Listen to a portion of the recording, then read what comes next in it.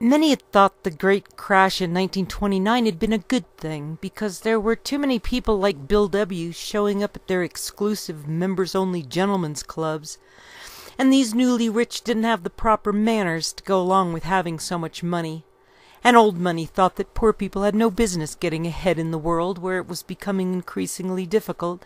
to find good servants since the Great War had destroyed the serving class. America had gotten into the Great War when Germany was winning, or Britain would not have had to pay back the lend lease owed the U.S. And the Young Plan of 1929 had been a nine billion dollar debt that would not be paid off until 1988. President Wilson had written his fourteen points as though Germany deserved to be treated as a victor. However, the British screwed with the implementation of the fourteen points in order to punish Germany, and Wilson suffered a stroke in October of 1919 that rendered him paralyzed on his left side, and the stroke came three months after Germany had signed the Treaty of Versailles on the 28th of June, five years to the day after Franz Ferdinand was assassinated. President Wilson's wife became the de facto first woman president of the United States until the Republican candidate beat them out of a third term in the next election in November of 1920 and the League of Nations came out of the peace negotiations born from Wilson's vision after the Great War of an international group that could mediate disputes without having to resort to armed force. Copies of the Fourteen Points had been dropped behind enemy lines to the German troops and delivered directly to the German leaders in person and when the lost battalion held and the Americans broke through the German lines, the British agreed to the armistice signed five weeks after the lost battalion was relieved. Germany responded favorably to Wilson's request for the armistice because the fourteen points were fair and just and treated Germany with respect. And the American proposal had been delivered to the Kaiser right after the British had gotten the Americans to abandon their Metz offensive into the Argonne Forest so the British could manage their Cambrai advance, and when the Americans took incredible losses in the Battle of Cambrai, General Pershing had reported to President Wilson that fighting alongside the British was no longer acceptable.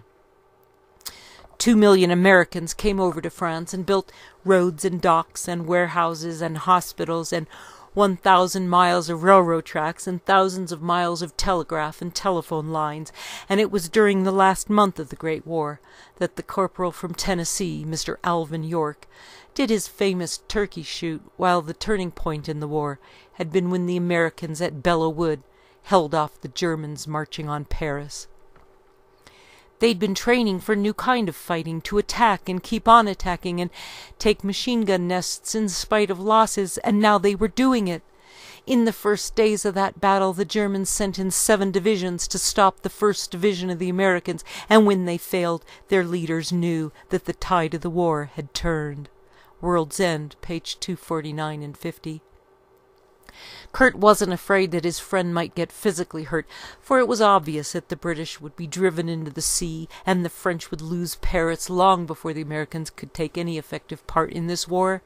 But Kurt didn't want his friend's mind distorted and warped by the agents of British imperialism.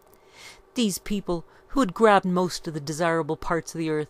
now thought they had a chance to destroy the German fleet, build their Cape to Cairo railroad, keep the Germans from building the Berlin to Baghdad railroad, and in every way thwart the efforts of a vigorous and capable race to find their place in the sun.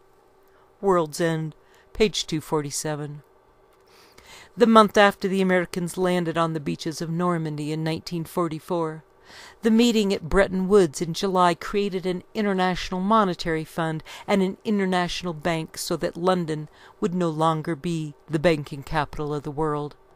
And the next month they would meet at Dumbarton Oaks to talk about creating the United Nations.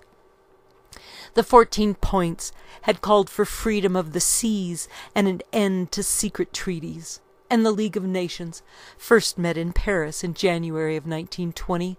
and then moved to Geneva into a hotel named the National Hotel, but they renamed it the Palace Wilson in President Wilson's honor.